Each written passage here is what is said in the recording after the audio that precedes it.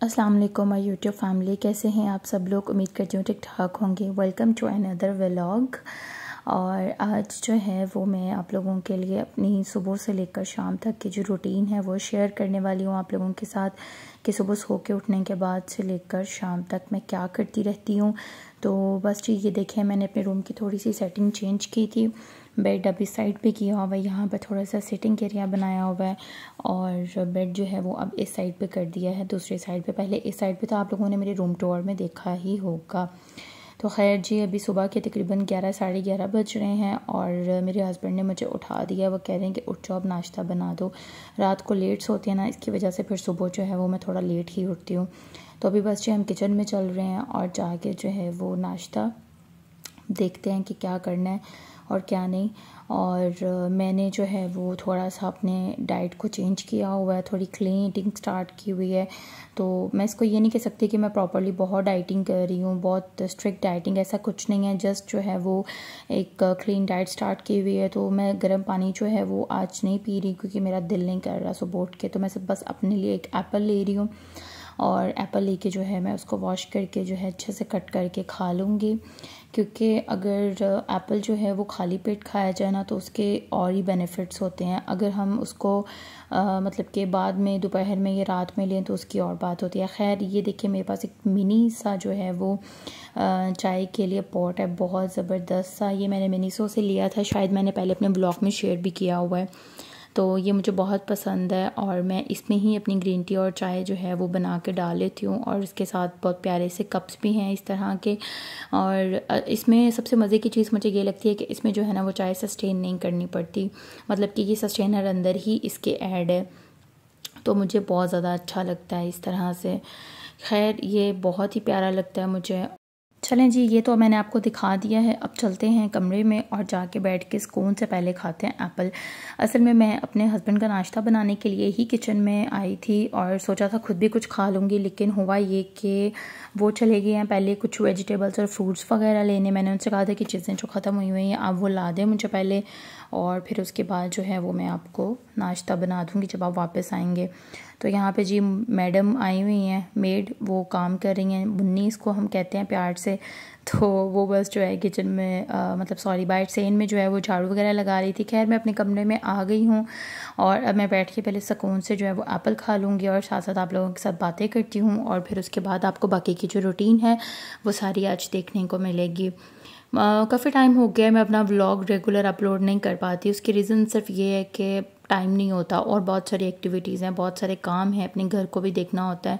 तो हर चीज़ को जो है वो साथ साथ लेके चलना बहुत ज़रूरी होता है। शादी के बाद जो है ना, वो ये सब रिस्पॉन्सिबिलिटीज़ बहुत इंपॉर्टेंट होती हैं। और इनको साथ साथ लेके चलना भी बहुत ही ज़रूरी होता है। खैर मेरे हस्बैंड घर आ चुके थे और सबसे पहले आते साथ उन्होंने ए का जो है वो ऊपर से साफ़ की है। सारा निकाल के अंदर से वेंट्स वगैरह और खैर, वो ये चिकन और वेजिटेबल्स और ये आलू भी मंगवाए थे मैंने। उसके बाद मैंने कुछ फ्रूट्स मंगवाए थे। वो सारा सामान ले आए हैं और अब हम फटाफट रख बनाते हैं उनका नाश्ता। असल में आ, मैं नाश्ता बनाते हुए की वीडियो नहीं बना रही क्योंकि मेरे दो ही हाथ है जिससे मैं नाश्ता बना सकती हूँ। वीडियो नहीं बना रही फ़िलहाल साथ साथ तो नाश्ता बनाने के बाद मैं आप लोगों से मिलती हूँ रूम में जाके। तो यहाँ पे जी मैं अंडे प्याज कल बनाए थे रात को, ये उनके लिए मैं सालन और साथ ले आई हूँ चाय। और यहाँ पे जी मैं वापस आई थी किचन में अपने जो है वो स्लाइस तो करने के लिए आज मेरा एग खाने का बिल्कुल मूड नहीं है। मैंने सोचा क्यों ना कि आज मैं सिर्फ़ और सिर्फ़ स्लाइस खाऊँ, वो भी सिंपल चाय के साथ। तो ये देखें जी मेरी खूबसूरत सी पॉट जिसमें से मैं इस तरह से चाय डाल रही हूँ। मुझे ये इतनी प्यारी लगती है ना कि मैं आपको क्या बताऊँ, बहुत ही मज़े की लगती है। तो खैर जी, यहाँ पे नाश्ता वाश्ता जो है वो बस हो गया ऑलमोस्ट समझ लें। और उसके बाद मेरा दराज से जो है आज एक पार्सल आना था, वो आ चुका था। और मैं आप लोगों के साथ शेयर करती हूँ, मैंने जो है वो ये रूम के लिए मंगवाए थे, वो ड्रॉर्स के लिए जो होते ऑर्गेनाइज़र्स इसमें मैंने सोचा था कि मैं जो है वो हसन की चीज़ें ऑर्गेनाइज़ करके रखूँगी। उसकी रीज़न ये है कि वैसे ड्रॉर में जो है वो पड़ी पड़ी ऐसी ख़राब हो जाती हैं। तो मैंने सोचा था कि मैं इसको जो है ना वो अच्छे तरीके से ऑर्गेनाइज़ करूँगी। तो मैं आप लोगों को आगे चल के वीडियो में दिखाऊँगी कि मैंने इसको कैसे ऑर्गेनाइज़ किया है। और ये बहुत ही मज़े का लग रहा था। मतलब कि मुझे लगा था कि फैमी को चीज़ भेज देंगे उठा कर लेकिन ये जब इसके अंदर चीज़ें हम रख लेते हैं ना तो ये ऑटोमेटिकली इस, इसमें स्पेस ऐसे बन जाती है कि, और ये इतना स्ट्रेट हो जाता है। मतलब बिल्कुल ठीक है, आप इसको आराम से अपने ड्रॉर्स में रख सकते हैं। मैं आपको अभी वीडियो में दिखाऊँगी कि मैंने किस तरह से जो है वह इसको किया।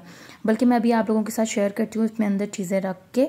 तो ये देखें जी, मैंने ये ड्रॉर के अंदर जो है वो इस तरह इसको रखा है। इसके अंदर मैंने वेस्ट रख दी हैं सारी एक में और फिर उसके बाद जो है वो मैंने बाकी एक में बेल्ट रख दी थी और एक में जो है वो मैंने इस तरह से जो है बाकी की जो चीज़ें हैं वो सारी रख दी थी जो भी मतलब के प्राइवेटली जो भी चीज़ें होती हैं, वो सब मैंने इसमें रख दी थी। खैर, उसके बाद मैं वापस किचन में आ गई थी और बस उसके बीच में जो है वो मैं अपने कुछ और काम करने लगी थी। यहाँ पे जी खाने में आज मैंने बनाया है आलू गोश्त चिकन में और बहुत ही मज़े का बना था। आलू गोश्त बना दिया था, उसके बाद सारा किचन भी क्लीन हो गया था। जो मुन्नी मैडम है, वो सारे बर्तन वगैरह धो गई थी। यहाँ पे जी मैंने अपने लिए बीन्स डिप किए हुए थे, पानी में इसको बॉईल करना था। यहाँ पे सारी क्लीनिंग जो है, वो मेरी कंप्लीट हो गई थी। और बाहर जो है, मैंने वॉशिंग लगाई हुई थी कपड़े वॉश करने के लिए। और यहाँ पे ये बास्केट मैंने वॉश करवाई थी। अंदर बॉटल्स थी, मैंने कहा, मुन्नी को ये भी साथ ही धो दो, इसके ऊपर डस्ट आई हुई है। यहाँ पर जी आप देख सकते हैं कि बस ये लास्ट वाले मेरे कपड़े थे, डाले मैंने नाइन मिनट्स रिमेनिंग और मेरे कपड़े जो हैं वो भी सारे वॉश हो गए थे और यहाँ पे जी सहन में कुछ हालात ये हैं। प्लांट्स जो हैं कुछ गर्मी की वजह से ख़राब भी हुए हैं, माशाल्लाह से कुछ फ्रेश फ्रेश भी हैं ग्रीन ग्रीन से। और मुझे प्लांट्स बहुत अच्छे लगते हैं, मैं अपने घर में लाजमी तौर पर प्लांट्स जो है वो रखती हूँ। ये कहीं आपको झाड़ू नज़र आ रहा होगा, कहीं पोछा, कहीं कपड़ा तो ये सब मुन्नी ने बखेरा हुआ है सहन में। क्योंकि अभी वो सफ़ाई करी है। यहाँ पे जी लाउंज की सफ़ाई भी माशाल्लाह से बिल्कुल डन हो गई है। ये देख सकते हैं आप लोग, बिल्कुल सारी अच्छे तरीके से सफ़ाई जो है वो हो चुकी है।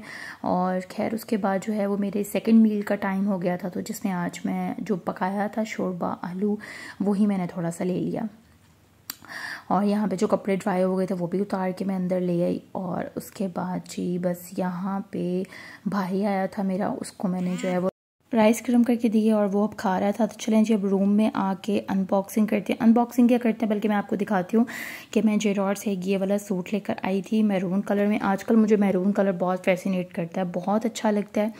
तो मैं बस जी, ये एक मैरून कलर का सूट लेके आई जो रॉड से और उसके बाद जो है वो इंसिग्निया से मैंने एक शूज़ लिए बहुत ही अच्छे लगे थे मुझे वो शूज़ तो मैंने फिर एक शूज़ भी ले लिए क्योंकि फोर्टीन परसेंट जस्ट डिस्काउंट था। ऑलमोस्ट हर ब्रांड पे यही डिस्काउंट था और ये स्काफ भी लिया मैंने सफ़ायर से, मुझे बहुत अच्छा लग रहा था। इस पर फिफ्टी परसेंट ऑफ़ था और बहुत मज़े का मतलब कि रीज़नेबल सा मुझे सिक्स हंड्रेड में मिल गया।